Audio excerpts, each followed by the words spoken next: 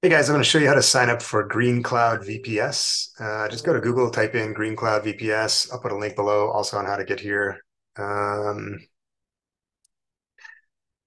I'm going to go to Green Cloud VPS.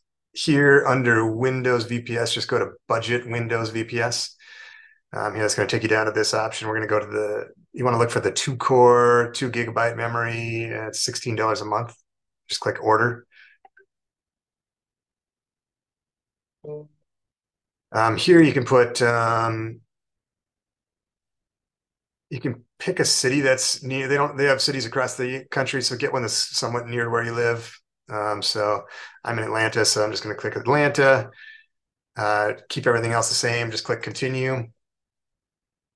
Um, from here, just again, just going to verify everything. This is Atlanta. You got the two two um, the budget VPS, sixteen dollars a month. Just click to check out. Then here you put all your personal information in here. Um, down here you can set up your password to what you would like it to be. And then uh, you can pay by credit card or PayPal. Um, you have different options here too, but then put your credit card information in here, click I, I agree to the to the service and just click complete order. And that's it.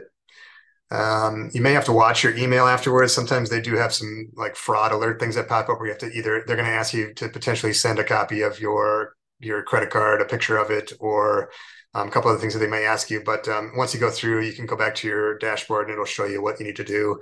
Um, if you have any questions, just reach out to us and we can help you. Thank you.